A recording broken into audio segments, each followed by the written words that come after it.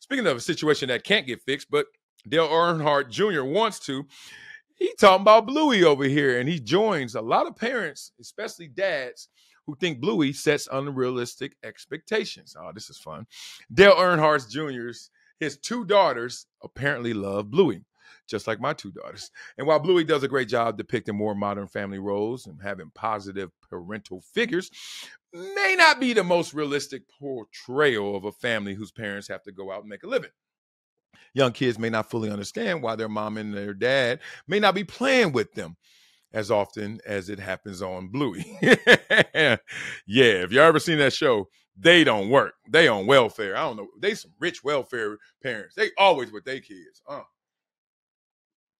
Sound like my ass. Uh, so as Earnhardt talked with uh, the athletic, uh, the conversation got to Bluey, and Earnhardt revealed his issue with the show.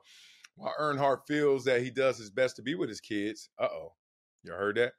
The show creates an unrealistic expectation that no parent in real life can possibly match. Oh, let's get through his comments before I comment. Um, the thing that annoys me about Bluey is I'm gonna be completely transparent. I think I'm a really good dad. All right. I'm pretty happy about my daddying. I feel like I'm present in their lives. I'm available for them and they know where I'm at. But we watch Bluey and the kids are like, come on, dad, do this. Come on, dad, pretend this. So every episode, my kids watch Bluey and see the dad is like the kid's best friend. Always available, always there. Anytime they want the dad to get in on the fun or to play, he's never too busy. He's never got to go to work. He's never got his this thing he's got to do, or he's never mowing the lawn and whatever, right? it's always, yep, you got it. I'm gonna do what the kids want me to do and pretend with them. So my girls, mainly Isla, who just turned five, they have the same expectation of me. Isla says this multiple times a day. Hey, Dad, pretend this, and I never say anything about it because I know you're supposed to let them pretend. You're supposed to let them create and imagine. But the dad on Bluey, he is setting these expectations for our children that are unrealistic because my daughter thinks, oh, yeah, my dad should do that. My dad will do that. We'll ask him to do it, and he's going to do it. I'm sure some people will have different opinions about all that. I'd be curious to hear others' opinions. I know somebody's going to say, there will come a day when nobody's going to be asking you to pretend anymore, and you're going to be so sad. And I know that's coming. I'm not wishing my life away, but Bluey makes things challenging because the expectations are high. Hmm. A little suffering over here, Dale Earnhardt Jr. From perfect is the enemy of good, right? Like, so Bluey daddy is looking perfect and you're like, eh, how do I measure up to that? Well, we know perfect's the enemy of good. So there's going to be some distance here. But let's dive into this, what he's really feeling. All right. So your kids having high expectations is not a good thing. You're right. It's a great thing. like them having these absurd expectations is a great thing. Let me tell you why. The complaint is not and the disappointment that is triggering you, the parent is not either. And that's the real problem. The expectations, because you got to talk kids into things and you got to talk kids out of things. That's called maturity. You got to know what things you can do, what things you can't do, and you got to know how you have to challenge yourself with the wins and the losses, right? That's life, basically. Always keep the challenge involved in wins and losses in the process whatever you want to call it. So kids thinking, oh my God, my dad's always going to be there. But then your kids disappointed is a teaching moment. Not the expectations the problem. It's the problem is that you can't talk the kid through this or the kid is complaining and you can't get them back to a good place. So I think that's the trigger right here. It's really landing on Dale Earnhardt, who earlier said, you know, my kids know where I'm at. you know, and I got to do a lot of things. Look, he's really caught up in a dilemma. And this is the dilemma.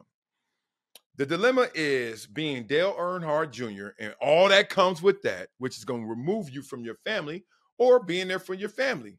And that's not being Dale Earnhardt Jr., who can give us this generational wealth continuously, right? So that's what it is. It's the truest dilemma. Most uh, most successful parents feel this way man or woman mom or dad i had this conversation several times in the last couple months parent guilt man i'm on this trip my boys just flying around got to go chase that money and got to do their job i got friends that tour you know i got friends that try to bring their kids and meet them in certain dates certain cities but look if you got a You got a two month tour. you're coming home three random weekends, six out of 60 days.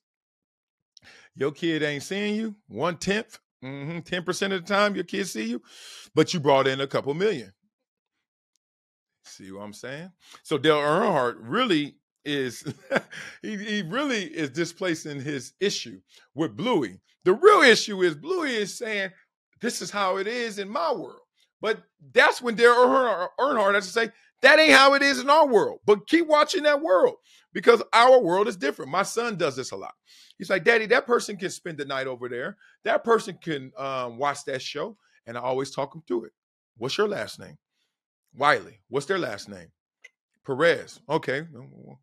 Is that the same? No. Well, then the rules won't be the same. and you just keep talking until they're like, oh, and a light will click.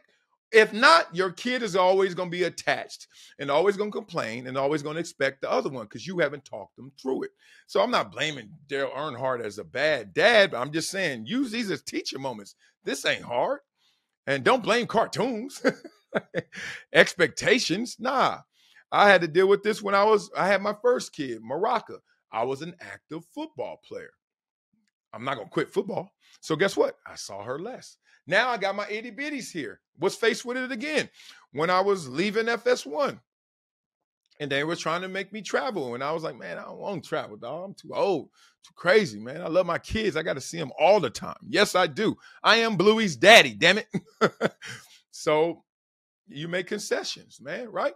Yeah, there's there was some money out there I could have chased, but there's money in here that's coming to me now. Ah, uh, so the point being, just don't blame stuff, man. Don't teach your kids to blame stuff either, man. Like work through it. Every problem has the solution built into it. That's why it's a problem. It's almost like inverted problems. Solutions. Solutions are inverted problems, and problems are inverted solutions, right? Just got to pull it out. Simple as that. Come on, Dale Earnhardt. Hit the corner. Finna get busy. Tell the big homie who is he. You know what to do right here. All right.